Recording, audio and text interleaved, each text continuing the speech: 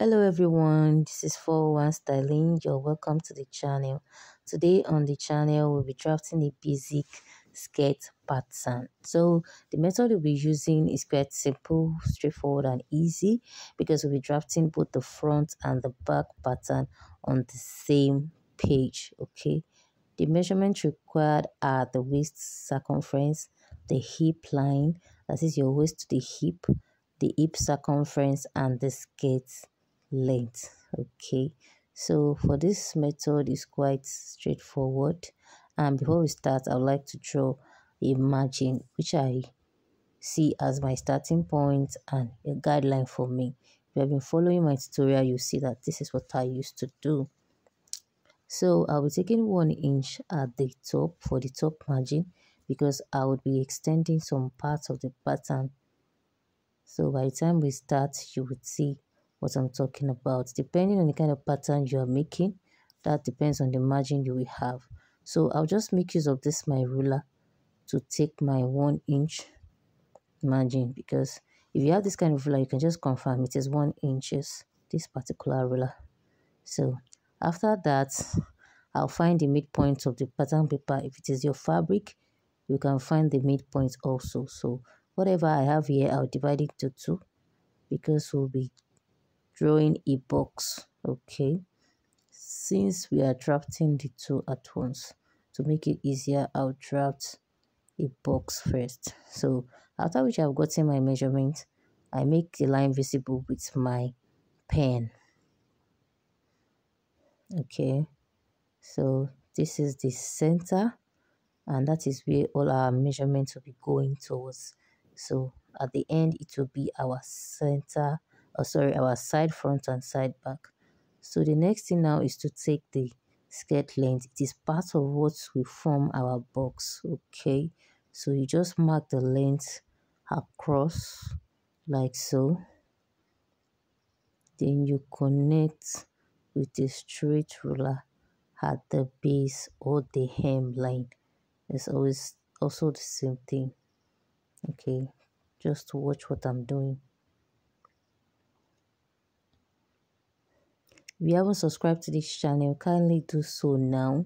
Click on the subscribe button, click on the bell beside it to get notified whenever I drop a new video. Trust me, you will enjoy this channel and give this video a thumbs up if you find it helpful. So what I'm doing now is just connecting the lines like so. So after that now, we impute our hip circumference divided by 4 okay? So i'll be making use of my hip measurement. Or let me see. I'll be making use of 35 inches for this divided by 4 that is 8.5 so i'll take 8.5 on the first side and 8.5 on the other side too. Then i'll mark it towards the length and to the waist just marking it round. Remember it is part of what we use to get our box. So to get accuracy. So i'll just make use of my long ruler here. Okay. To save the time i'll advise you get a long ruler too. It's really important. There are some measurements you need to take and your small ruler will be frustrating okay? In case you are making a mermaid skirt or you know some exaggerated measurement. So we label the center back, the center front, okay? And on the center back like so, you take one inch for your zipper allowance, okay? It can be 1.5, can be 2 inch, but I'll be using 1 inch.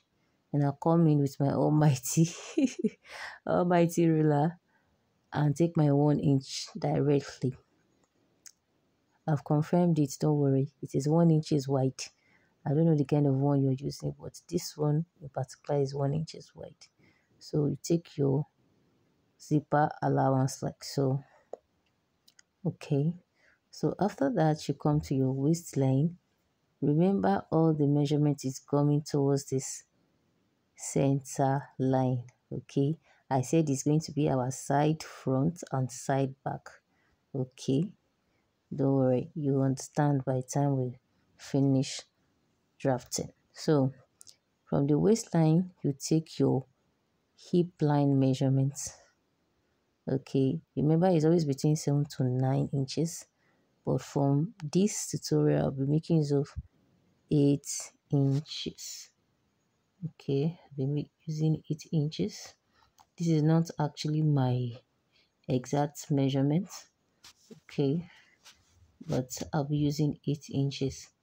So what i just did was mark 8 inches round and connect the straight ruler. Do you see why this method is easy? You do everything at once. So just label that line as your hip line. Okay so after which you have done that now the next thing for us is to take our waist measurement. Divided by 4 okay plus 1 inch for the dart intake because we are going to take that on the waistline. Okay we don't have a we don't have seam allowance for now. Remember it's just like a template and a basic sloper does not necessarily need to have a seam allowance. So mind the way you place your curve should be facing towards that center line okay it's not a must you have this kind of ruler actually but just mind the way you place the curve whichever curve you have. So at the back you do the same thing. From the center back the line before the zipper allowance. Don't make that mistake because the zipper allowance you are going to fold it inside i be inward rather. So then you mark it like so with your one inch for the dots, then you connect with a straight um sorry with a curve ruler okay. So after which i've gotten your hip measurements and your curves like so come to the center front line and come in by your um take your darts by using your bust span that is your nipple to nipple. Then you connect down to the hip line with a straight ruler you see this line is not is not necessary to get to the hip line but it's just a guide. This is a pattern okay? So then you come down by 4.5 inches. So you come to the line to that line on the waistline you take 0.5 on both sides. And you connect back to that 4.5 inches okay so you see that those lines are not necessarily needed but just to serve as our guide. We just need the dart line and the dart legs those triangular lines beside the center line is called the dart leg so at the back now you do the same thing. Take your bust span measurements connect to the hip line. But for this dart at the back you come down by 5 inches. Okay our front is different from our back remember. So after connecting you take 0.5 on both sides just like we did for the front. Okay then you connect to that 5 inches.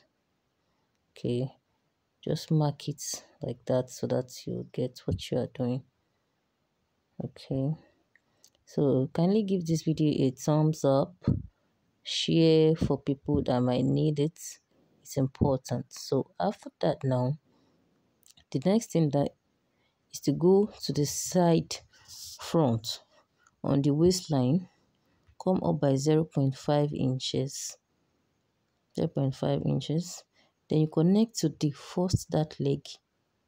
Will extend the line with your ruler and connect to the first dart leg with a curve Remember, our body is not a straight line. We have curves on the front. So we do like that. On the center front line, you come down by 0.5 inches.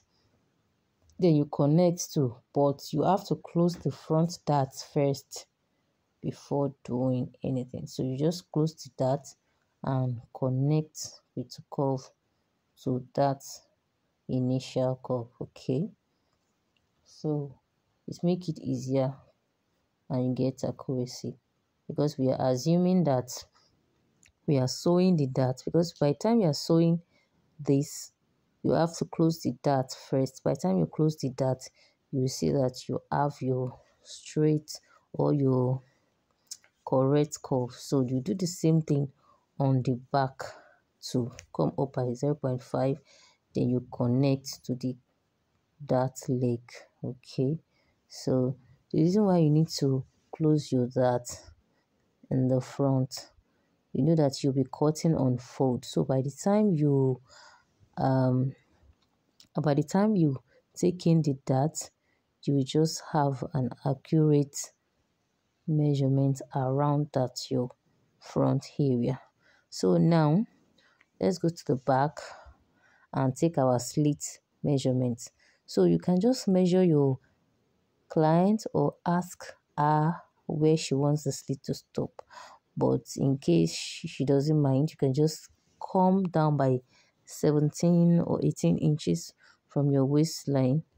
But for this i'll be making use of 18 inches.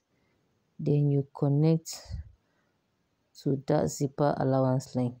So from that zipper allowance line you extend it by one inch okay? Extend it out by one inches then you connect down to the hemline and back to the center back. If you don't understand just watch what i'm doing okay? Do you see that? Just extend it down like so so i just recommend you take your client's measurement. So just label that part as slit. It's important you label every part of your pattern. So this is the front and this is the back. So on the front you can just write it on it cut and fold. In case you are giving to someone to cut or maybe you even want to cut yourself. So that symbol there is means cut on fold so at the back you can just write cut two okay?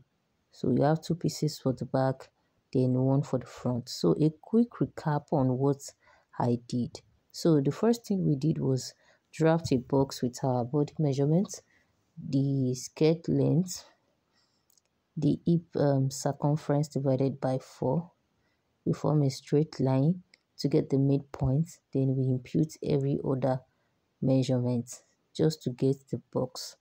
So after getting the box i took the waist measurement the zipper allowance. Let me just label it at once. The zipper allowance okay. So after that i took the waist measurement the dart the hip line the hip curve and that is what i did. Then i um extended the center i'm sorry the side front and i took the slit measurement okay? And that is basically what i did. That's just a small recap okay? So after that now we are we now have our basic skirt okay? But you want to have a kind of pencil shape at the hemline. You took the measurements you have on your hip line minus 2 inches. That is what you will impute.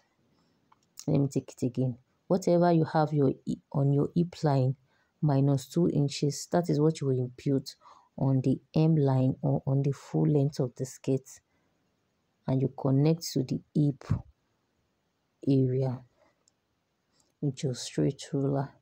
And that is that about the skirt. Now you have your pencil skirt. So it's either you leave it like so or you just use the pencil? Okay depending on what you want to make then we'll cut it out. Just watch the way i'm cutting closely. So i'll be cutting the pencil skirt.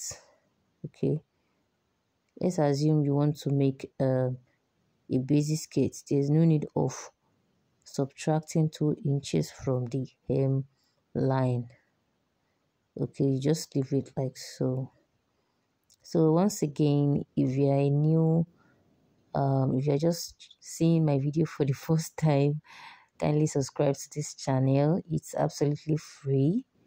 And give my video thumbs up that is like my video share so that people other people benefit from it and i'll be in the comment section in case you have anything you want to tell me observations anything. So this is basically our pattern. Is ready and as you can see it's really really easier and faster.